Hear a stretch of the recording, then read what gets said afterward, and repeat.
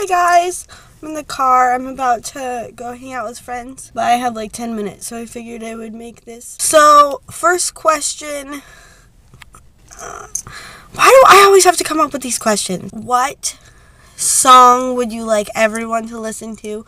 And that one actually Chuck came up with. I'd like everyone to listen to the song by Tyler Espinoza. It's on his Bandcamp. The one with the guitar. You just listen to all his music. It's good. I'll link it down there. I feel like I'm a secret agent. What was your favorite thing that you got from Ramahana Kwanzaa Solstice? I got this really cool thing. Well, got a really a lot of really cool presents.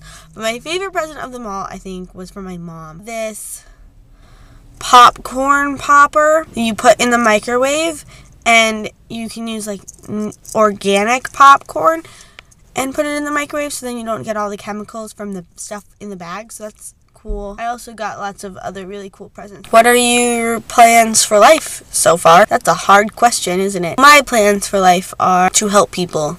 My plans for life are to help people. I want I'm in psychology right now, taking Spanish classes too, so psych and Spanish.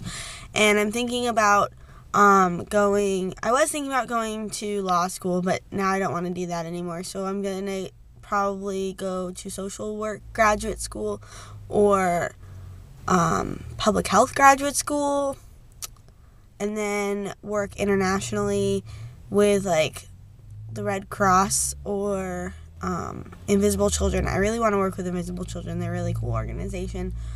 Um, and that's pretty much what I want to do with my life. Maybe join the Peace Corps. Also, I'd like to point out that when I sit in a car and it's off and I sit on the street, I feel like a secret agent that's like on stakeout. And right now, I'm definitely getting that feeling, especially with the video camera. Like, yeah. I will see Sophie tomorrow.